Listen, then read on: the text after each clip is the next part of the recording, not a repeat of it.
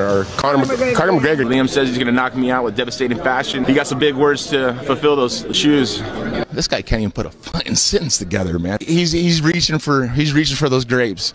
He's trying to make his wine, and the wine's already sounding like a violin with that cheese and wine. Um, Right hook to the body. you fans tune in. I never let you down till now. I won't start. I came in here 110% mental. That's about 100% of this game. I want to tell me what you see. Let's go ahead and see by the fight what you saw in the ring. I'm a totally different person than I was 12 years ago. I'm faster, I'm stronger, I'm younger. Five days a week, I'll train three days a week. Uh, one of those days, I will train two days of the week. So six days a week, I'll be training. I'm only 43 years old. I'm an old mature. I mean, I'm matured old. I mean, very fast.